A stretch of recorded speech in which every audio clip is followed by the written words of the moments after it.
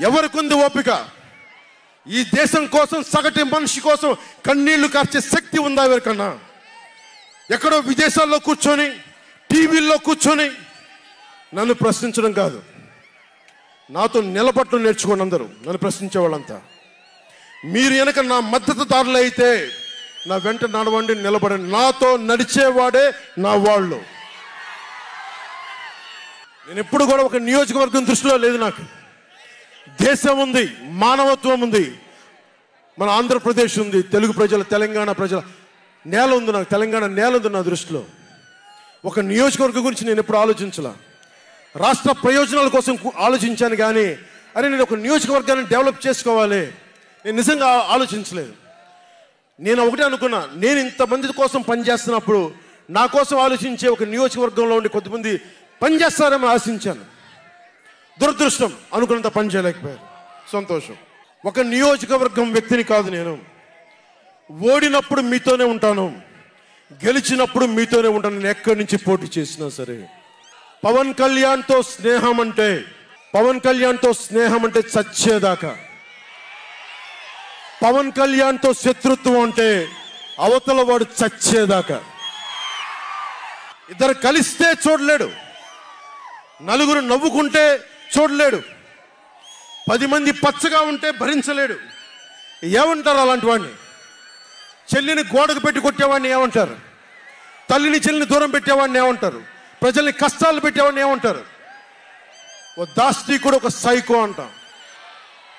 జగన్ బాధితులందరికీ ఒకటే చెప్తా ఉన్నాను. One man's courage makes a majority అంటాం. వన్ మ్యాన్స్ కరేజ్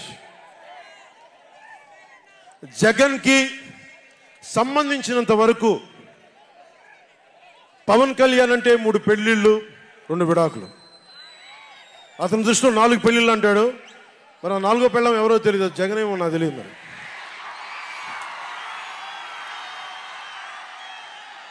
నాకు ఇదే విసుగొస్తుంది జగన్. లేని నాలుగో పెళ్ళవుటే నువ్వేరా? నేను ఎప్పుడైనా సరే భారతి గారికి కూడా చెప్తున్నాను మేడం. మేడం భారతి గారు మీరు మీ ఊహించుకోండి. మేము ఎప్పుడన్నా సరే మిమ్మల్ని చాలా గౌరవంగా భారతి గారు మేడం భారతి గారు అంటాం. మీ ఆయన ఇంత నీచంగా ప్రవర్తించినా కానీ చంద్రబాబు గారి సతీమణి కానీ నియోజకవర్గంలో ప్రతి ఒక్కరిని ఇబ్బంది చేసినా కానీ నా ఇంటి సతీమణి నన్నా కానీ పెళ్ళాలు పెళ్ళాలను సంబోధిస్తాడు ఆ మాట మిమ్మల్ని అంటే ఎలా ఉంటుంది? భారతి గారు ఆలోచించండి ఒకసారి. నాకు తెలుగు వచ్చాడు నేను పెద్ద ఇంగ్లీష్ మీడియం చదువుకున్న వ్యక్తిని కాదు. నాకు చాలా భాష వచ్చు. కానీ సంస్కారంగా ఉండదని మాట్లాడినంతే జగన్ నీకు సంబంధించినంత వరకు నేను మూడు పెళ్ళిళ్ళు రెండు విడాకులు. పవన్ కళ్యాణ్ అంటే జగన్ చెప్తున్నా విను. పవన్ కళ్యాణ్ అంటే ఆంధ్రప్రదేశ్ ప్రజల భవిష్యత్తు. పవన్ కళ్యాణ్ అంటే ఈ దేశపు యువత కాలంలో. పవన్ కళ్యాణ్ అంటే కన్నీళ్ళు తుడిచే చెయ్య. పవన్ కళ్యాణ్ అంటే అర్ధరాత్రి పరిగెత్తుకుంటా వచ్చి ప్రాణాపాయంలో ఉన్న one not eight ambulance. Pawan Kalyan అంటే ఆడబిడ్డలకి రక్షణగా ఉండి చేతికి కట్టే రాఖీ. పవన్ కళ్యాణ్ అంటే పెద్దోళ్ళ భుజం మీద ఉన్న కండువ. గర్వంతో ఎగిరే జాతీయ జెండా పవన్ కళ్యాణ్ అంటే. పవన్ కళ్యాణ్ అంటే నిన్ను నట్టేటను ముంచే తుఫాన్ గుర్తుపెట్టుకో. నిన్ను అధాపాతాళానికి తొక్కే వామనుడి పాదం పవన్ కళ్యాణ్ అంటే గుర్తుపెట్టుకో. ఇంత చెత్త మీటింగు ఇంత అసభ్యమైనటువంటి మీటింగు ఎప్పుడూ చూడలేదు మేము. పవన్ కళ్యాణ్ ఎంత దిగజారుడు మనిషి అనేది మాకు కూడా మొదటిసారిగా అర్థమైంది. ఎందుకంటే మా ఇంట్లో కూడా ఉన్నాడు ఇలాంటి పిచ్చి పిచ్చి మాటలు మాట్లాడేవాడు బాలకృష్ణ. సేమ్ అదే బాటలో వీడు నడుస్తున్నాడు అనిపించింది. ఇద్దరు సినిమా వాళ్ళు కనుక మేము ఏదైనా మాట్లాడొచ్చు అనుకుంటే ఎందుకంటే జగన్ అనేవాడు అందరికీ నేను ఎప్పుడో చెప్పాను నా వల్ల కాలేదు ఈ చంద్రబాబును ఎదిరించడానికి మా ఆయన కూడా నిస్సహాయుడై చనిపోయాడు. అందువల్ల ఈరోజు నిజం చెప్పాలంటే అతన్ని భయంతో పరిగెత్తేటి చేస్తూ నిద్ర లేకుండా చేస్తుంది ఒక్క జగన్మోహన్ రెడ్డి చంద్రబాబుని. నిజమైన మొగుడు చంద్రబాబును చంద్రబాబుకి జగన్మోహన్ రెడ్డి అని చెప్పి ఎప్పుడో సభలో చెప్పాను. ఈ రోజు చెప్తున్నా వస్తే నీకు కూడా అతనే మొగుడవుతాడు తప్ప పెళ్ళాంగా మాత్రం రాడని గుర్తు అయిపోయింది. నీ పరిస్థితి అయిపోయి నువ్వు ఇరవై నాలుగు సీట్లే ఎక్కువ అనుకుంటూ పాపం సంబరపడిపోతున్నావంటే ఇది జగన్ ఇది గొప్పతనం అని చెప్పి అర్థం చేసుకో. అంతేగాని పిచ్చి పిచ్చి మాటలు మాట్లాడుతూ నీ నిన్ను నువ్వే తక్కువ చేసుకొని రకరకాల మాటలు అనిపించుకోవటానికి మాత్రం ఆస్కారం ఇవ్వబాకు పవన్ కళ్యాణ్ నీ కళ్ళు తెరుచుకో ఎవరు ఎంత చెప్పినా కూడా నీకు బుద్ధి జ్ఞానం అనేది లేదు. అది పూర్తిగా మేము మొన్ననే వ్యూహం దానికి వెళ్ళాము మేము. ఆ ప్రీవ్యూకి వెళ్ళాను. అందులో చెప్తాడు జగన్ పవన్ కళ్యాణ్కి ఎవరు శత్రువులో ఎవరు మిత్రులో కూడా అర్థం కాదు అని చెప్పి ఆ పాత్ర పెట్టాడు. రా రామ్ గోపాల్ వర్మ గారు చాలా సరదా అతని పాత్ర వచ్చినప్పుడల్లా జనాలు బాగా నవ్వుతూ ఉన్నారు. అది నిజం హండ్రెడ్ పర్సెంట్గా. ఎందుకంటే ఇతను మాటల మనిషే తప్ప అది కూడా స్క్రిప్ట్ రాసుకొచ్చి డైలాగులు అది కూడా చంద్రబాబు నాయుడు ఆఫీస్ నుంచి ఆ స్క్రిప్ట్ రాసిస్తే ఆ తిట్లన్నీ అన్ని తిట్లే. ఏంటి మీ జెండా సభలో మొత్తం జగన్ను తిట్టడానిక నాకు ఒకటి గుర్తొస్తా ఉంది ఒక మాట ఇది. ప్రహ్లాదుడు హిరణ్యకశ్యపుడిని అంటాడనమాట. హిరణ్యకశ్యపుడు పద్దాక వాడు శత్రువు కదా. హరి హరి అంటే అక్కడ అంటాడు. చివరికి హిరణ్య ప్రహ్లాదుడు కొడుకు భక్తుడు మహాభక్తుడు.